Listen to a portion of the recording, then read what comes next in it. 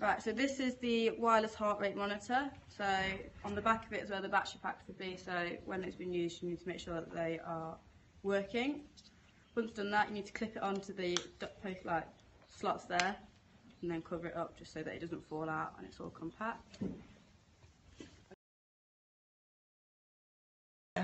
There's also this slot underneath on these where it sits on the horse, which will take the heart rate monitor as well. This will be higher up on their back, just to get an extra reading to make it more accurate.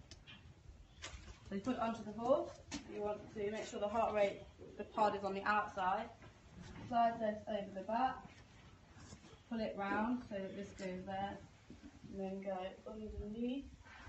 We'll go round. Can one of you hold it this way?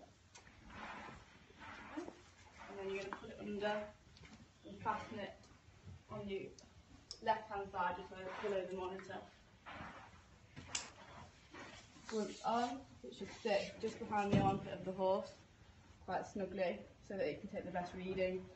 And then you will see the other bit of the monitor sits just behind on the shoulders, so it's comfortable there. But that all needs to lay flat with no twists on it as well.